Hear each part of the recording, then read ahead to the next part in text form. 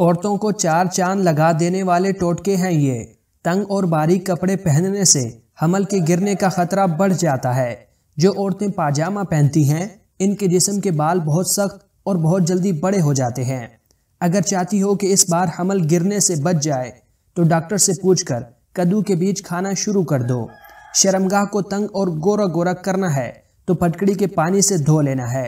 ये अमल माहवारी के दिनों में नहीं करना। अगर चाहती हो कि शोहर पूरी रात हम बिस्तरी करे और बेड तोड़ दे तो हम बिस्तरी से पहले अपने शोहर को हरी मिर्च खिला दो। क्या आप जानते हैं कि जैली फ़िश ऐसी मछली है जो बालिग होने के बाद दोबारा नाबालिग भी हो सकती है? हाथी तीन मील से भी पानी की बू सूंघ सकता है। अगर आप स्मार्ट बनना चाहते हैं और वज़न कम करना चाहते हैं तो सौंफ का पाउडर आपके लिए बहुत फ़ायदेमंद साबित हो सकता है। डार्क ऑरेंज रंग की जर्दी का मतलब ये होता है कि मुर्गी इंतहाई सेहतमंद थी और ये अंडा खाना इंतहाई मुफीद है। जिन लोगों की उंगलियाँ मिलाने के बाद इनका बायां अंगूठा दाएँ अंगूठे के ऊपर आता है, वो लोग मिजाज के एतबार से बहुत अमली होते हैं, जो कदलिया रोज़ाना इस्तेमाल करने की वजह से मेटाबॉलिज्म बेहतर होता है।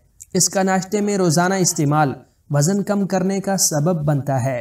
सिंघाड़े का पाउडर दूध में मिलाकर पीने या इसका दलिया बनाकर खाने से खातन में इसकात हमल के मसाइल पर काबू पाने में मदद मिलती है। मछली का तेल वज़न कम करने में मदद करता है।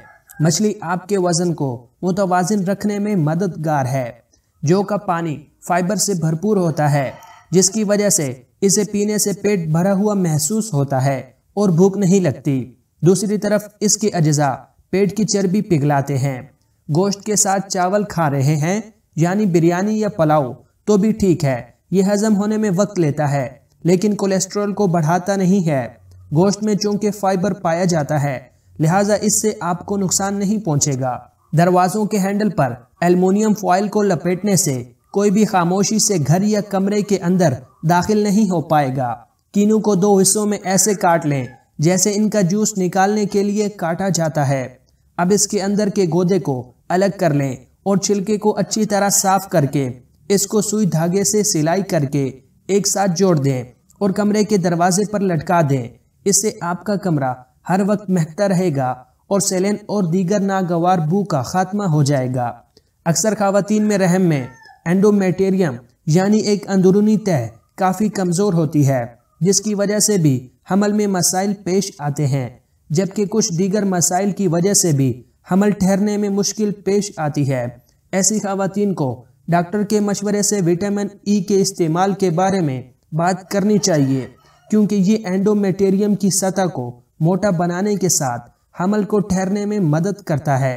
स्प्रे बोतल में एक कप गर्म पानी, एक कप सफ़ेद सिरका और तीन छोटे चम्मच लौंग डालकर मिक्स करें और एक रात के लिए छोड़ दें। इस स्प्रे से आप शेल्फ और टेबल भी साफ़ कर सकते हैं। इससे दाग धब्बे और किचन की स्लेब पर लगी चिकनाई भी साफ़ हो जाएगी। वैक्स बाम को टॉयलेट पर लगाने से इस पर मौजूद जरासीम भी मर जाते हैं और इस पर लगे तमाम तर दाग धब्बे बिना मेहनत किए साफ़ हो जाते हैं। दाग लगे सस्ते अंगूर से महँगी चीज़ें बनाएँ। बच्चों का टाफियाँ और कैंडी बहुत पसंद आती हैं। आप इन अंगूरों को धोकर खुश कर लें और फिर इनसे मज़ेदार टाफियाँ बनाएँ। वो भी बिना किसी परेशानी के। कहीं जाना हो तो बैग में एक पाउच सिलिकॉन जेल का रखने से बैग में बदबू नहीं आती जूतों या कपड़ों की। जो खातन या मर्द, हजरात, ट्रेमर या रेजर वगैरह इस्तेमाल करते हैं, वो इन पाउचेस को इसके बैग में रख सकते हैं, जिसकी वजह से इनके ब्लेड्स पर नमी नहीं होगी और ना ही वो जल्दी ख़राब होंगे।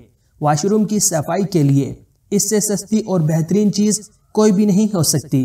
एक स्प्रे बोतल में चार खाने के चमचे टाटरी लें और इसमें आधा कप सिरका डालें और इसमें एक कप गर्म पानी डाल दें। अब इन चीज़ों को अच्छी तरह हिलाकर मिक्स कर लें।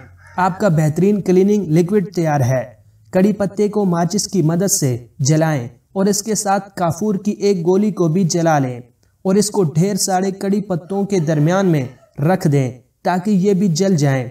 ऐसा करने से आप इन मच्छरों से भी निजात मिलेगी और अक्सर रात के वक्त मच्छरों के शिकार से भी बच जाएँगे। बिस्तर की चादर के नीचे साबुन रखने से क्या होता है? आम सी चीज़ का ऐसा फ़ायदा कि आप भी ये करने पर मजबूर हो जाएँगे। क्या आप भी लेटे लेटे अपने पाँव को हिलाते हैं? लेवेंडर साबर को बिस्तर की चादर के नीचे रखकर सोया जाए। लेवेंडर की खुशबू आसाब को पुरसकून करती है और नींद लाने में मददगार होती है। फेनाइल की गोली मशीन में डालने से दो फ़ायदे होंगे। एक तो ये कि सरफ का इस्तेमाल कम होगा। कपड़ों की मैल कुचैल निकलने की वजह से मशीन का पानी जल्दी गंदा नहीं होगा। और झाग भी ज़्यादा से ज़्यादा बनेगी। जिनसे कपड़ों में चमक पैदा होगी। इसके अलावा दूसरा फ़ायदा ये है होगा कि कपड़ों का फाइबर यानी धागा नरम रहेगा। इस पर ब्लीच का कोई असर नहीं रहेगा। पानी में काफूर मिलाकर अगर आप इसमें अपने पाँव भिगो कर धो लें तो एड़ियाँ फटने से महफूज रहती हैं। अगर पानी ज़्यादा गंदा है यह टैंक की गहराई ज़्यादा है तो इसमें फटकड़ी के साथ आप कैल्शियम बाइकार्बोनेट नामी केमिकल बाज़ार से खरीद कर डाल दें। इससे पानी बिल्कुल साफ़ हो जाता है और पीने में भी जायका ख़राब नहीं होता। अगर एक नंबर पर पहुँचने से कबल ही बल्ब ऑन हो जाए तो समझ जाए कि ये तेज़ी से बिजली के यूनिट इस्तेमाल करने वाली स्त्री है। शुक्रिया।